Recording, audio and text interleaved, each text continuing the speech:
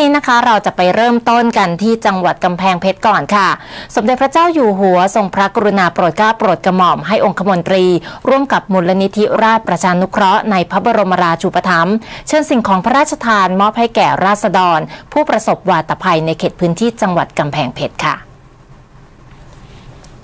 สมเด็จพระเจ้าอยู่หัวมหาวชิราลงกรณบดินทรเทพยาวรางกูล ทรงพระกรุณาโปรดเกล้าโปรดกระหม่อม ให้พลเอกกัมปนาตรุดดิตองคมนตรี ร่วมกับมูลนิธิราชประชานุเคราะห์ ในพระบรมราชูปถัมภ์เชิญสิ่งของพระราชทานมอบแก่ราษฎรผู้ประสบวาตภัย ในจังหวัดกำแพงเพชร ที่บริเวณหอประชุมที่ว่าการอำเภอพรานกระถ่ายจำนวน 513 ชุด พร้อมด้วยการพระราชทานอาหารเลี้ยงสำหรับผู้ประสบภัย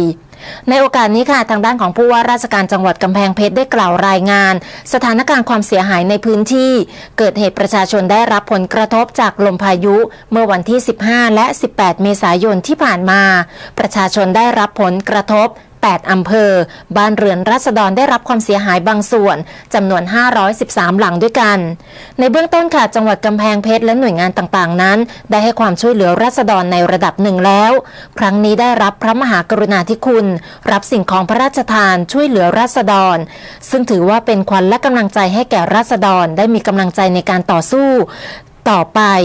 และหลังจากเสร็จพิธีมอบสิ่งของพระราชทานแล้วได้ลงพื้นที่ เพื่อเยี่ยมเยียนราษฎร ซึ่งเป็นผู้ป่วยติดเตียงจำนวน 3 รายด้วยกัน ในเขตพื้นที่อำเภอพรานกระต่าย พร้อมมอบสิ่งของพระราชทาน เงินช่วยเหลือ เพื่อเป็นขวัญและกำลังใจในการดำเนินชีวิต ทั้งนี้ประสบนิกรในพื้นที่อำเภอพรานกระต่าย และประสบนิกรชาวจังหวัดกำแพงเพชรต่างรู้สึก